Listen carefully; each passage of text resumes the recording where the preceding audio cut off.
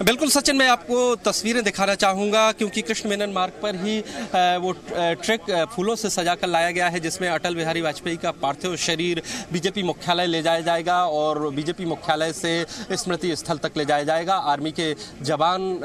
साथ में हैं और ये आ चुका है मुख्य गेट पर ये ट्रक और आप तस्वीरों में देख सकते हैं, तमाम सुरक्षा बंदोबस्त के बीच ये ट्रक लाया गया है। इसके साथ ही दो ट्रक और भी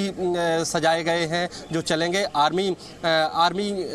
इसको लीड करेगी आगे जो ट्रक है, जो पूरी तरह से सजाया गया है, जिसमें पार्थिव शरीर जाएगा। और ये कृष्ण मेनन मार्ग से बीजेपी मुख्यालय तक, इसमें पार्थिव शरीर ले जाया जाएगा और बीजेपी मुख्यालय से इस, स्मृति स्थल तक ये